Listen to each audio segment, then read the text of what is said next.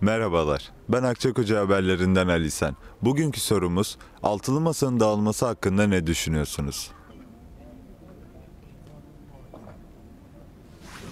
Altılı masanın dağılması hakkında ne düşünüyorsunuz? Ya bana şimdi ne düşüneyim? Şu Küfürlü konuşsam oluyor mu? Olmuyor değil mi? Olmaz. İyi şeyler düşünmüyorum. Olması gereken bir şey. Sen hiçbir zaman sağa solla olmaz. Olması gereken bir şey oldu ve bundan sonra ne olacağını düşünüyorsunuz peki? İnanmıyorum ben yani. O zaten olmayacak bir şeydi o. Baştan beri olmayacak bir şey. Ayrılan Beş, gider, beş kişi gider. Beş kişi gider. Altıncı kişi artık herhalde o büyük ihtimalle Cumhur'a gider. ayrılan kişinin bundan sonra ne yapacağını düşünüyorsunuz? Hani sosyal medyada başka insanlarla masa oluşturacağı falan söyleniyor. Çok zor. Belli olmaz. ya, Bu siyaset çünkü. Oyun yapıyor olabilirler. Ben öyle bir şey düşünüyorum. devam eder gibi geliyor bana. Devam eder gibi geliyor. Çünkü e, dağılırsa zannediyorum ki e, kaos olur onların içinde yani. Başka bir şey değil. Balık sor ben siyasetten anlamam. Benim tek hedefim Şamandıra. Elmanın çürükleri temizlendi diyorum. Bu kadar. Sizin için iyi oldu Benim için yani. iyi oldu. Peki bundan sonra nasıl bir yol izlerler? Bun- Bundan sonra kalan 5 siyasi parti lideri Emek ve Özgürlük Platformu ittifakıyla beraber ortak hareket ederler diye düşünüyorum. Akla gelmeyenlerin başa gelme curcunasıdır. Her ne kadar akla gelmişse bile başa gelme süreci zorla gecikiyor. Başa da gelmeden akla geliyor ama başına gelmiyor. Bu akla ve başa gelen bir olaydır. Bunun böyle olacağı da hemen hemen baştan beri belliydi. Bir güvensizlik ortamı vardı. Kendi işlerinde kendi alanlarını genişletmeye çalışıyorlardı. Ülkeyi yönetmekten ziyade kendi puanlarını artırmaya çalışır bir tihniyet içerisindelerdi. E, ne olur her şerden bir hayır beklemek lazım. Belki daha hayırlısı olur, daha güzeli olur. Beşli olarak kalır. E, bakarsın oy vermeyecek olanlar oy vermeye başlar. Türkiye'de şartlar çok çabuk değişiyor. Onun için kesin ifadeler kullanmamak lazım.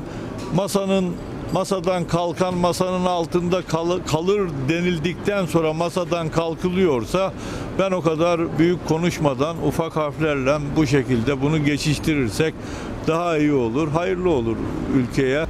Zaten öyle olacaktı yani ne olacaktı yani. Zaten zaten bekleniyordu zaten. Ve, ve nihayet oldu zaten. Yani fikir ayrılıklarının olabileceğini düşünüyorsunuz. E bundan sonrasında ne düşünüyorsunuz peki? Bundan sonrasını zaman bakacağız. Anladım. Siz ne düşünüyorsunuz? Masa olarak devam eder. Ben ne, ne, ne bileyim. Yani ba- başka masa kurarlar. Ama iktidarla bağdaşamazlar bunlar. Çok iyi oldu. Yani e, Meral Akşener'in dediği gibi halkın e, isteklerini bence de yansıtmadığını düşünüyorum. Çok güzel olmuş. Olacağı oydu.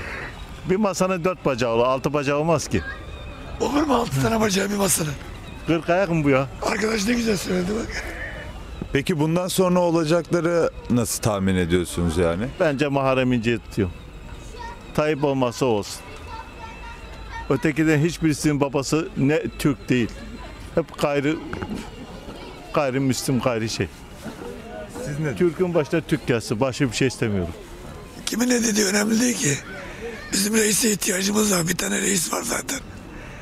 Böyle devam. Durmak yok. Yola devam. Ya Anladım. başımıza Türk gelsin de Zaten öyle olacak. yarısı Ermeni yarısı Yahudi. Ben onun için Türk'ün başta Türk gelsin. Bin yıldır başımızda Türk vardı. Hiç gayrimüslim. İnönü'den başka Ermeni yoktu başımıza gelen. Yani olması gerekendi. Sizce neden fikirleriniz ne yönde yani bu görüş? Yani İyi Parti gibi bir e, partinin onlarla bir masada olmaması zaten istediğimiz şeydi. Yani İyi Parti için iyi oldu. Anladım. Peki İyi Parti'nin bundan sonraki izleyeceği yol ne düşünüyorsunuz? Yani muhtemelen Cumhur İttifak- İttifakı'na yanaşacağını düşünüyoruz. Yani o konuda çok bir yorumum yok ama bence dalmaması daha iyiydi. Sonuç olarak bir oldular. Bu konuda da ilerlemeye çalışıyorlar. Yani Ben hangisi daha iyisi o taraftarım. Ben siyasetin uzlaşma işi olduğunu düşünüyorum. Yani insanlar uzlaşarak, konuşarak anlaşamazlarsa zaten savaşlar çıkmış tarih boyunca. Ee, uzlaşamayacaklarsa nasıl si- siyasetçiler diye bir sormak lazım. Hem kendimize hem onlara. Umarım uzlaşırlar diyelim. Siz ne düşünüyorsunuz? Yani altın masanın alması aslında ilk turda işi bitecekken ikinci tura ertelediğini düşünüyorum. İş ikinci tura kalınca tekrar birleşecekler. Altıncı masa bana göre geç kaldı. Hangi konuda geç kaldı? Yani bugün bir e, CHP ile İyi Parti'nin bir arada olması ve diğer siyasi partilerinde e, bir yama olması bana göre doğru değil. Yani dağılması doğru bir şey söylüyorsunuz. Dağılması doğru bir şey derken e, birleşmelerde baştan bir kere bir sıkıntı vardı yani. Yani bugün HADEP'le İyi Parti'nin yan yana oluşu bunu ben hazmedemiyorum açıkçası. Ki HADEP'siz de bu iş işi başaramayacaklarına da eminim. Yani İyi Parti de bunların içerisinde açıkçası olmasını istemedim. Gereksiz bir dağılma diye düşünüyorum. Peki Zamansız ve hiç çok önemli bir ortaklığı bo- bo- bozulması iyi olmadı yani. Uyumlu içerisinde gitseydi iyi olurdu. neye karşı yani e, Millet İttifakı'na karşı? Ee, Seçilecek Cumhurbaşkanlığı için uyumlu bir iş olurdu yani. Oy belliydi zaten. Meral Akşener dağıttı yani. O topladı o dağıttı. Altılı Masa'dan Meral Akşener çıktı ya. Dağılmadı masa. Fikrinizi alabilir miyiz? Alabilirim ben Meral Akşener. Aslında doğru olanı yaptı diyorlar ama yanlış. Çünkü e, Kılıçdaroğlu ona karşı çok büyük iyiliği oldu yani. Çıktı diye yani. Millet yani e, sadece bir Meral Akşener'e bağlı değildi. Hatta oy da kaybedecek. Kendi kendi oy seçmenleri bile oy vermeyecek ona yani. oldu. Yani dağılmaması lazımdı. Kim için kötü oldu yani? Bence İyi Parti için kötü oldu. Yani kötü yaptı bence. Son zamanda bunu yapmaması lazımdı. Sizce bundan sonraki izleyeceği yol ne olacak sizce? Artık e, İyi Parti olmadan devam edecekler. Yapacak bir şey yok. Denen bir sonuçtu. Bizi de fazla ilgilendirmiyor. Altılı masayla da hiç ilgilenmiyoruz zaten. Bizim mevcut iktidar oyunun büyük olduğunu biz biliyoruz. Oyun çok büyük. Batı'nın bizde ne yaptığını çok iyi kavradık. Onun için mevcut iktidarla biz devam etmeye devam edeceğiz yani. Başka bir şey yok. Altılı masadan da hiç beklentimiz bir şey yok. Bu ülkeyi yönetemezler. Kendilerini yönetemiyorlar zaten. Ya görünüyor yani artık bu o kadar şey değil. Yani kendi aralarında almış oldukları bir karar sonuçta. Saygı duyuyoruz. Yani Sizce bundan sonraki izleyeceği yol ne? bundan sonraki in- izleyeceği yol e, kayıp verdiler. Yani bu milletle dalga geçmek gibi oldu bence. Yani sonuçta bir yola çıktınız bir seneden beri beraberdiniz. Ama millet şu anda hüsran vaziyette olmuş oldu. Yani hem kendilerine zarar verdiler. Hem millete zarar verdi. İyi Parti ne yol izleyecek sizce? İyi Parti tahmin ediyorum kendi başına yol izleyecek. Bence yanlış bir karar. Yani Meral Akşener'in belirli zamandan beri altılı masayla birlik olup e, Türkiye'ye yeni bir refah getirelim diye uğraşırken şu anda masayı terk etti. Başka e, Cumhurbaşkanı adayları ön- önermeye kalktı. Bence yanlış ya. Meral Akşener'in ikna olacağını zannetmiyorum.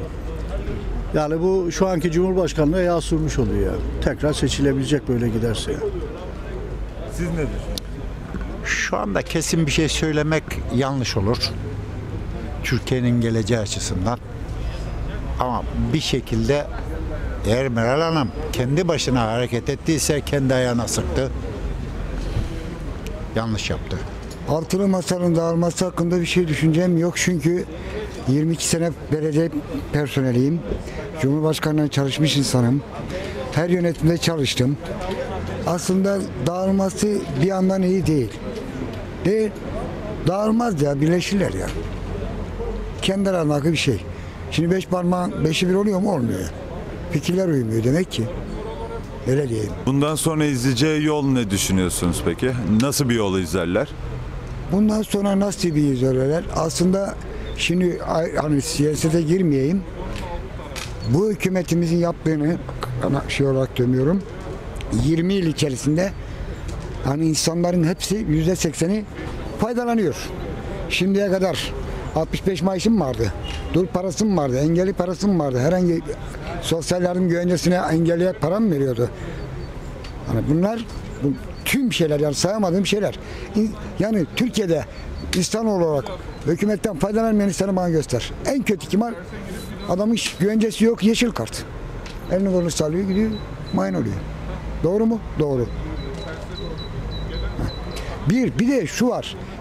20 yıl içerisinde dünyanın felaketini gördük bu hükümette. Bunların alttan kalktı mı kalktı. Ee, Akşener zaten adaylarını, aday isteklerini söyledi.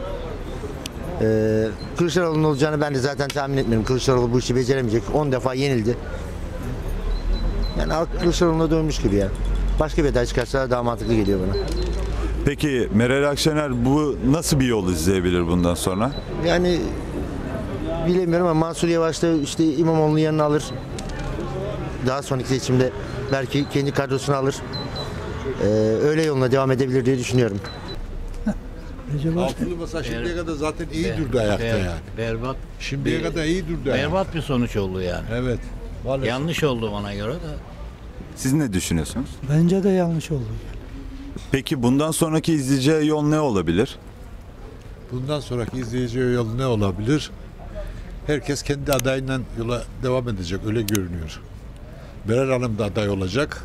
Kılıçdaroğlu da aday olacak. İşte sonradan bakalım ne olur sonunda. Sizce? Bence de aynı. Her- Herkes partisinin adayını gösterecek bence. Bu iş kime yaradı yani? Tayyip Erdoğan'a yaradı. Tayyip Erdoğan'a zaten yarasa da yaramasa da Tayyip Erdoğan'dan bu halk bu şey bu iktidar alamazlar. Ona ihtiyacı var bu ülkenin şu anda. Böyle dağınık bu bak ülkenin dörtte biri yerle bir oldu. Yani şimdi bu altılı masa bunu nasıl idare edebilir? Birkaç tane kişi karar verecek olursa nasıl olur bu iş böyle yani? Değil mi? Yani dayanışma da olabilirdi ama e, Tayyip Erdoğan'a hem yaradı hem de zaten en güçlü adaylardan biriydi. Yine de o götürebilir düşüncesindeyiz yani. Biz çok akıllı olmamız lazım. İdareciler koltuk hevesi için hareket etmemeleri lazım. Her şey koltuk değil yani. Ülkenin geleceği var, çoluğumuz var, çocuğumuz var. Anladın mı? Bak ülkenin dörtte biri ne hale geldi. Bak geçen sabah şeyde e, hava durumunda dinliyorum. Bu yaz çok kurak geçeceği söyleniyor. Her şey sorun yani. İstanbul depremi bekleniyor. Doğru dürüst bir hazırlık yapıldığı yok. İmamoğlu'nu İstanbul'a belediye başkanı seçtik. Seçildiği günden beri Cumhurbaşkanlığını nasıl olurum onun peşinde. Hep herkes kendi çıkarının peşinde. Ülkeyi düşünen yok ya. Kolay değil.